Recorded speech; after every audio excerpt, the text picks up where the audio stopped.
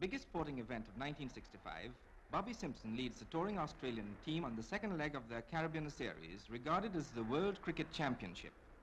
The fact that they were beaten at Jamaica in the first test did not dampen the spirits of the visiting cricketers.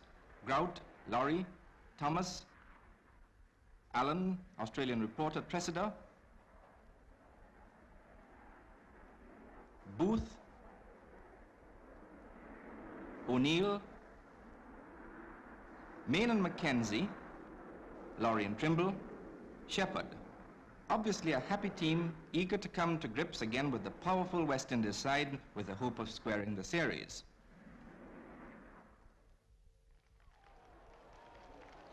Comes the big day, Queen's Park Oval, Port of Spain. The Australians, choosing the same 11 that lost in Jamaica, take the field after Simpson won the toss and invited the West Indies to bat first.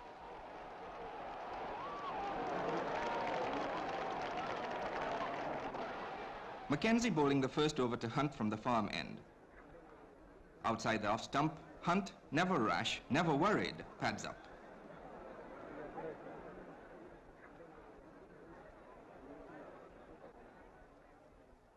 He allows this one to go by also. McKenzie in. Hunte guides it through gully. And the batsmen run two.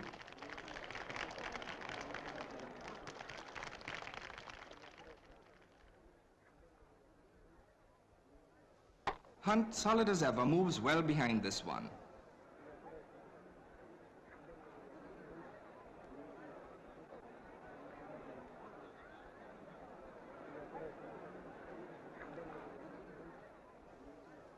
In comes McKenzie. And Hunte executes a lovely fluent drive between extra cover and mid-off.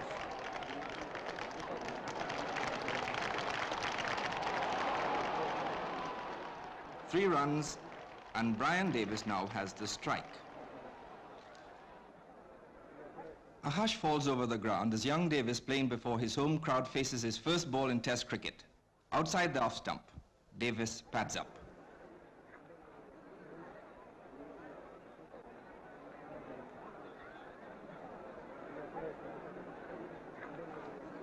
Now it's Hawke to Hunte from the pavilion end. First ball moving away.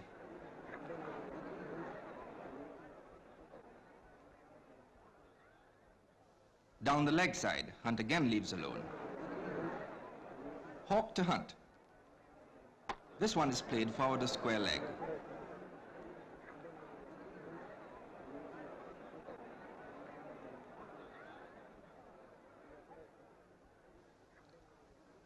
Another delivery from Hawke, and Hunte is again right over it.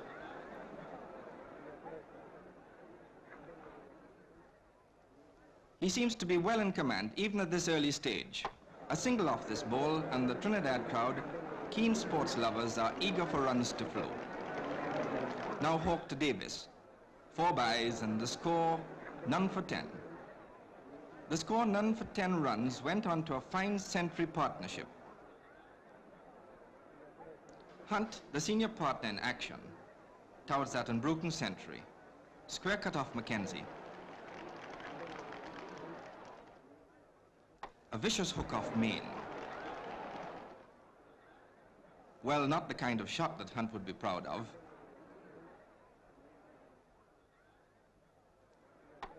A dab through the slips. Four runs.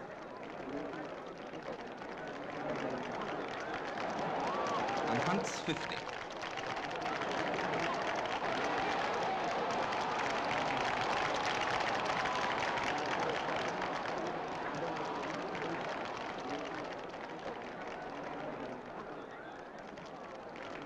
Now Davis in action, a turn to leg.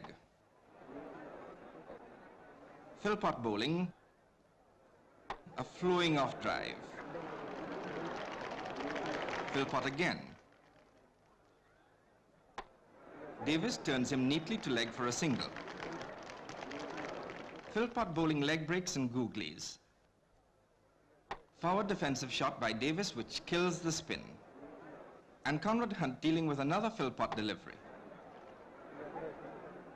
McKenzie from the farm end to Davis. This one played back along the wicket. McKenzie, a great trier, bowls. From a gentle guide through gully. One run. Now it's Hawke. And Davis produces a force and cut shot.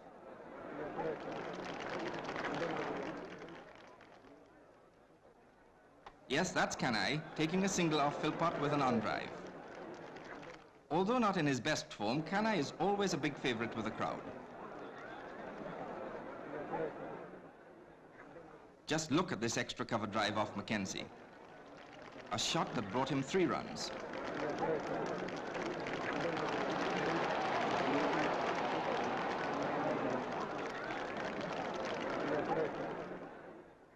A glance to leg.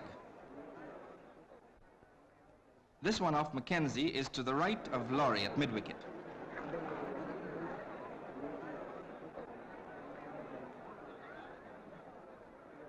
Now Simpson to Kanhai, a square cut, no run there.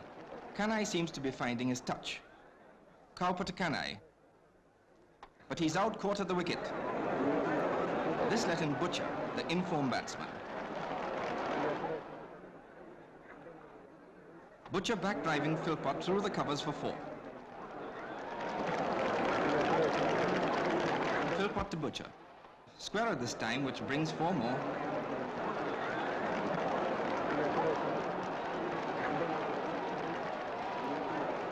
Simpson to Butcher. Off drive, more runs. Simpson again. A flick wide of mid-on, one run. Butcher, top scorer with 117 facing O'Neill. On drive again, another single.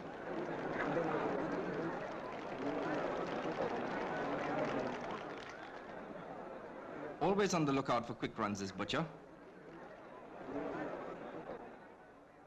A single taken off McKenzie from a square drive. Now Sobers, a turn to leg.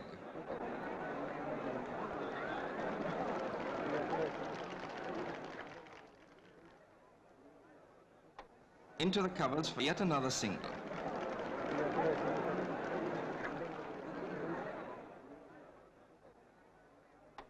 Sobers fails to make proper contact with this pull off Simpson and the ball runs out to fine leg. Simpson from the pavilion end and Sobers turns it off his pads.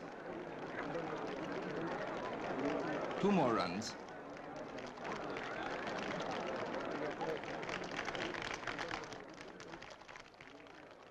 Sobers, looking set, proceeded to thump the bowling before he was run out through a misunderstanding with Butcher.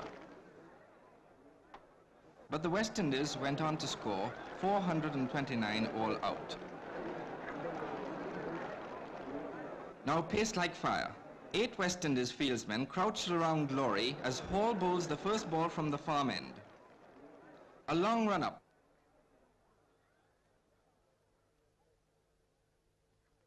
But Lawry plays quietly on the onside, taking no chances.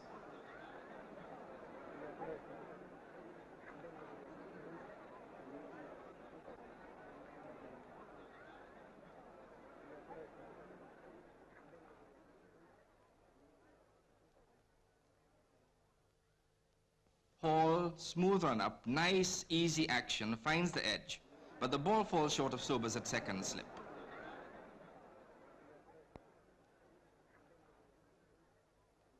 This one, wide of the wicket. Wes Hall on the run. Lawry plays at and misses an away swinger. The last ball of the over.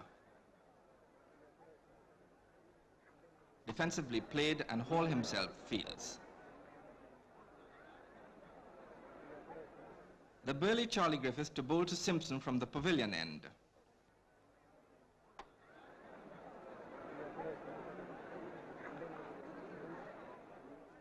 Griffith's ability to get the ball to lift off a good length had the top Australian batsman in trouble. Griffith to Lawry.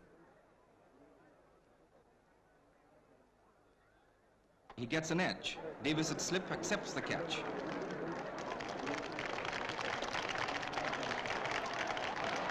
And the Aussies are one down for 15 runs. You missed that? Well, here it is again, captured in slow motion.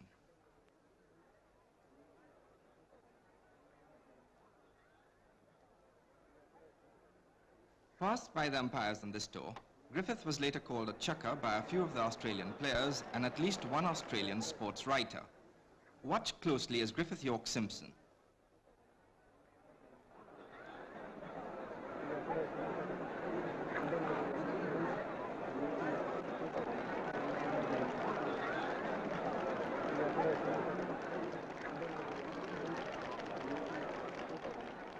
Australia 2 for 60. A menacing looking paceman is Charlie.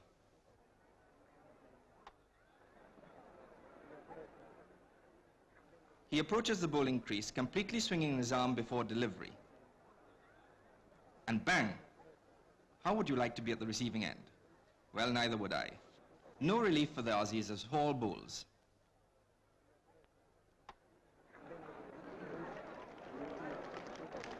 Under close scrutiny by the critical English umpires during the victorious 1962 tour by the West Indies to England, Griffith was given a clean slate in all matches. Has he changed his action since? Perhaps Law 26, the law which deals with fair and unfair delivery, has been interpreted in different ways by different people.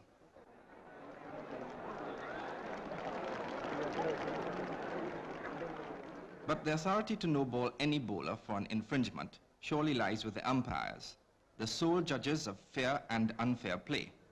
It would be a good thing for the game of cricket on the whole if interpretation of the laws was left to the umpires.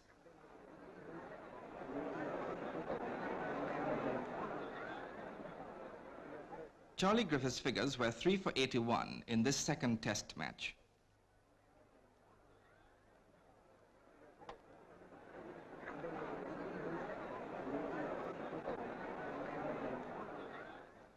The game was drawn, but the West Indies went on to win the series by two games to one with two drawn. A fine victory as we look forward to England in 1966.